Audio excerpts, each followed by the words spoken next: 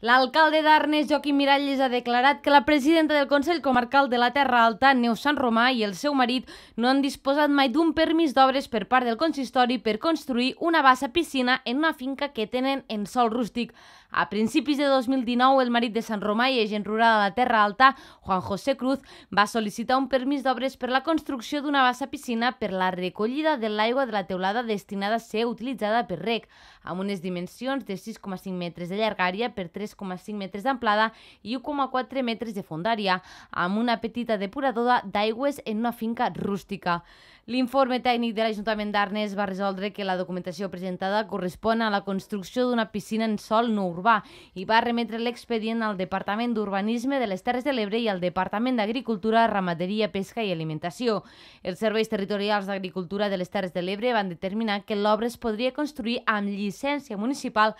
només en el cas que la construcció es dediqués única i exclusivament a l'activitat agrària i garantint la màxima integració en el medi rural. Donada la resolució d'Agricultura, l'Ajuntament d'Arnes va informar el 4 de juliol del 2019 a Juan José Cruz que per obtenir la llicència municipal en sol no urbanitzable li requeria la següent documentació, una memòria justificativa de l'actuació i la seva finalitat, plànols a escala adequada relatius a l'emplaçament i la situació precisos de la finca, descripció i representació gràfica dels serveis urbanístics necessaris per dur a terme l'actuació, projecte tècnic i l'estudi d'impacte i integració paisatgística. L'alcalde d'Arnes ha assegurat que avui dia l'Ajuntament no ha rebut cap d'aquests documents i que, per tant, mai ha concedit la llicència corresponent i que notificaran aquest incident al Departament d'Urbanisme. Una documentació que a dia d'avui eh, l'Ajuntament no han aportat, per tant l'Ajuntament no ha donat llicència d'obra i resulta ser que veient les imatges que estan publicades per aquest mitjà de comunicació,